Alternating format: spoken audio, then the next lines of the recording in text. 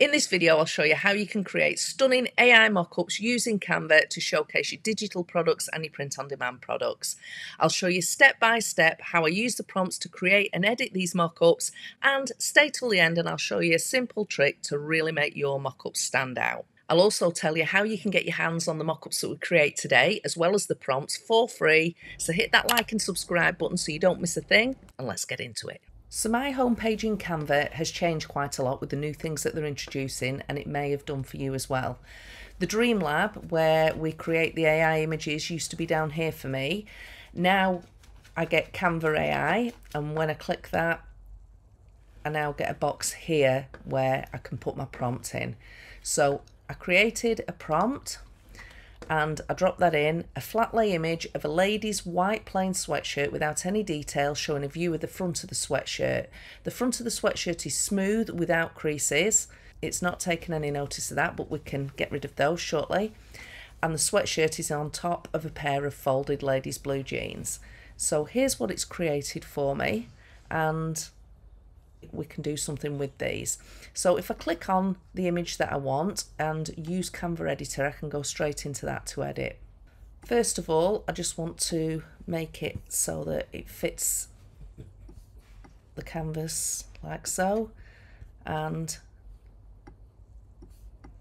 we want to have full view of, for me, I will be putting images on this. It's not the sweatshirt I'm selling, it's the image. So I want a good view of where my image is going to go. So click on it, click the edit, magic eraser. And now I'm just going to smooth out, iron out these creases in this sweatshirt. Click the erase button and that's smoothed it out. I'm also going to remove the V around the top of the sweatshirt here. Because I think that's drawing attention that we don't need. We can also click the edit button and go to adjust and brightness here. Make it perhaps just a little bit brighter. I'm going to also just see if I can just brighten this up here, removing those shadows.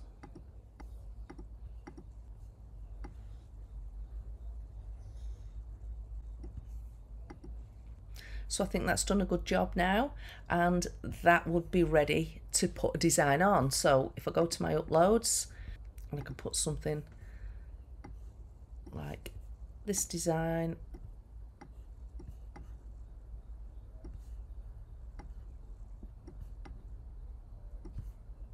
onto that mock-up. So I think that was fairly simple and fairly effective to do.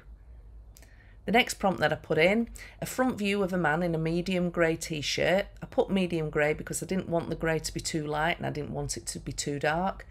Stood in a room. So I wanted the image to be lifestyle If you're doing an image that's say related to golf or camping or sports, then put that detail in there. So you might put on a running track, in a swimming pool, by a river, on a golf course, whatever suits the niche of the image or the product that you're trying to sell. So I wanted, as I say, a lifestyle image, so I put stood in a room. The main focus is the front view of the plain, smooth t-shirt, and I want the photo to be realistic. So again, it provided me these, and I thought that that one was quite a good one. So again, I click on it, use Canva Editor. So again, we can make the image more about the product that we're selling rather than the t-shirts can still see that it's a room there and I think that's quite a relatable image. It's neutral in colour and yeah that's suitable. So again we edit click on the edit button here go again to the magic eraser here click on that and we want to remove any creases from here.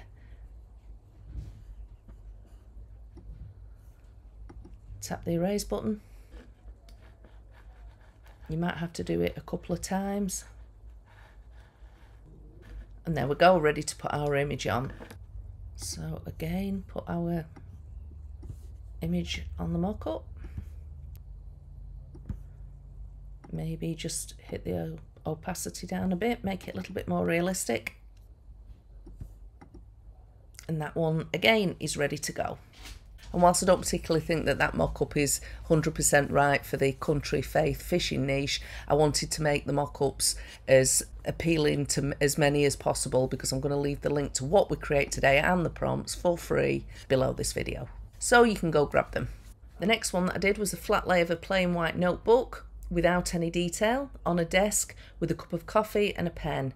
View from above, make sure we can see the plain cover clearly, high resolution photo and here's what it created. So I think again we'll click on this one, use the Canva editor, and then I could put an image on something like this and I could make that look smaller there like that make that put that there like that or here's a trick that I would probably do is duplicate this image and then I would trim it, just move it there for a second. I'll put my image on first, make it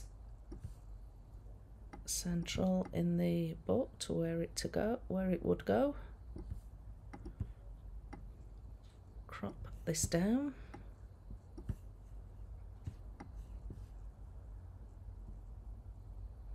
Move it across so it lines up. And there it looks like the image is underneath the elastic strap. If we click on position you can see layers here. And if we click layers you can see all the layers from on that canvas. So we've got the elastic strap that we just cropped we've got the image of the dachshund we've got the photo we've created and that's the background and then again that's ready to download. Another one that I created, I used the same prompt as the white sweatshirt, I just changed out the colour of cream. So again, the same thing, I like this one, click on it, use Canva Editor and I'll show you again a similar trick to the elastic strap on that book so that we can make the picture look more realistic when the product that we're showing off may overlap. I'll show you what I mean. So first I'm going to make this mock-up so that we can see the product that we're showing off, i.e. the digital image. Click on it, edit, again to the magic eraser. Let's iron it out. And again remove that triangle from the neckline.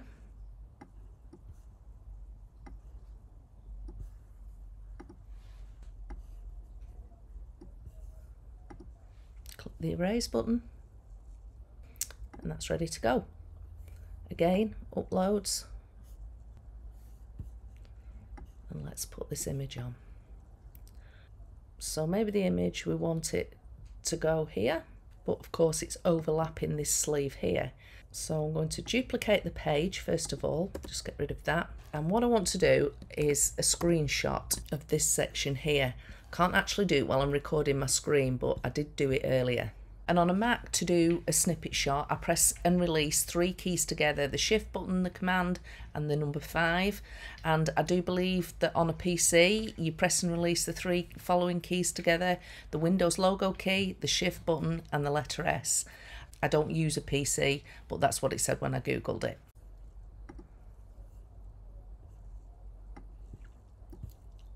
That's my screenshot. Now I want to click on it, get the purple box around it. I want to click on edit and I want to go to the magic grab, the yellow box here. Click on that and I want to click on just the sleeve. It doesn't matter that it's taken these in, but I don't want all this. I just want this around here. So click the purple grab button and there I can lift that off the image. Click on that, get rid of it because we don't need it. But now we've just got this sleeve that we can now patch in and make the size to match up. Sit that on top like that. And now we have this image underneath here that looks like the sleeves folded on top. Again, if you wanted to make that bigger and you wanted it to go under this sleeve, you'd do exactly the same thing. You'd duplicate it, you'd screenshot this little bit, and then upload your screenshot into your Canva uploads here, like I did. Again, you'd click on it, edit, and use the yellow magic grab. So that's a good tip to use to make it look more realistic. Again, if you go to position and layers, you can see all the layers of everything on this canvas. There's the screenshot of the arm, there's the image of the design, and that's the mock-up that we created. So that image there, it, again, is ready to download. So tell me below what mock-ups are you going to create and underneath this video I'll leave the links to the prompts and the images of the mock-ups that we've created today. Please like and subscribe to the channel and go watch this video next on how to create standout designs that grab attention and this one on how to turn your designs into digital products fast. I'll see you in the next one.